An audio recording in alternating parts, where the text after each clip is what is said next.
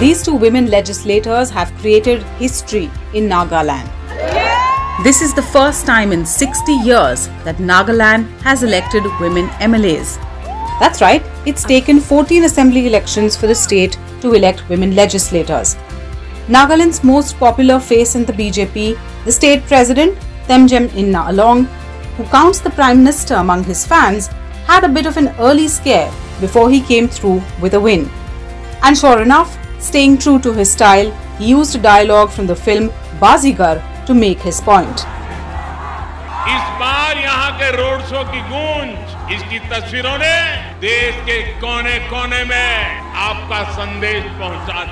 The BJP has picked up 12 seats and its alliance partner the NDPP has registered wins on 25. Neiphiu Rio is set to become the chief minister for a record fifth term. Naga peace process has been going on for a long time. It's been decades. It started during Congress time. So, but the thing is that you know uh, things were moving at a slow pace.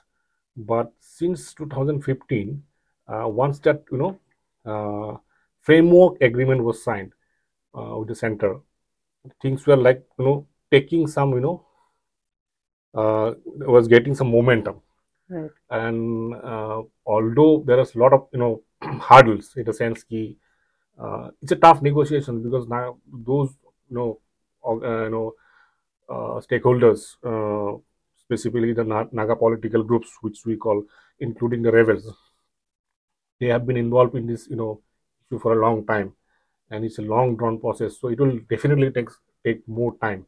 But nevertheless you know bjp is hopeful that some solution will be you know uh, can be reached out if, if if it is possible to reach out before 2024 because it is it, they want to get some kind of political mileage out of it.